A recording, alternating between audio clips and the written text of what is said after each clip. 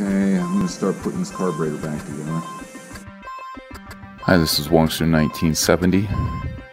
In the part one episode of the 2007 V-Star 1100, I had replaced the fuel line and repaired the fuel shutoff solenoid that was damaged. That had not corrected the problem.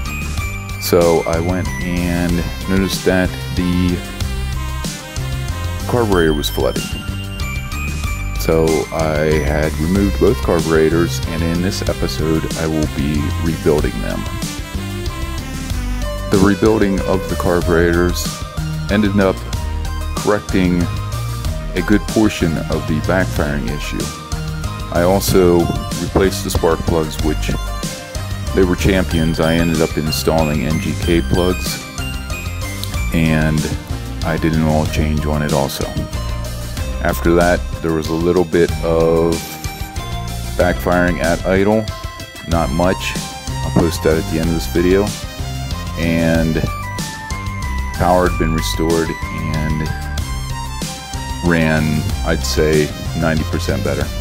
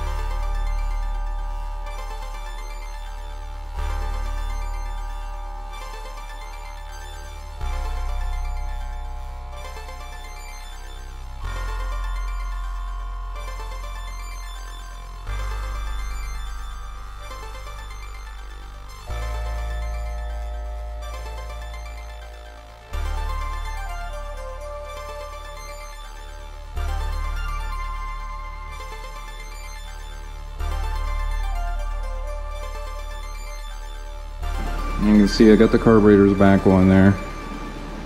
Everything works as it should. Put a new plug on there, new cap on here. And I'm gonna put the uh, carburetors back in.